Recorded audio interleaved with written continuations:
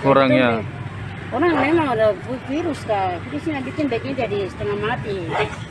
jadi mama dorong punya penjualan juga omset menurun Tidak bisa, tidak bisa ini, tetap begitu sudah. oh. kalau mama sendiri tinggal di mana Mama di Vanindi. di Vanindi jadi mama pu hasil kebun mau bawa jual di sini ya mau harapan kepada pemerintah seperti apa mungkin ada mungkin pemerintah bisa lebih perhatikan atau Iya, maksudnya mama kita untuk pemerintah seperti itu di tempat jualan, pasar yang bagus sedikit. Karena kita lagi menikah kan ada panas, hujan. Baru pemerintah siapa mulai kita mau bangun pasar ini.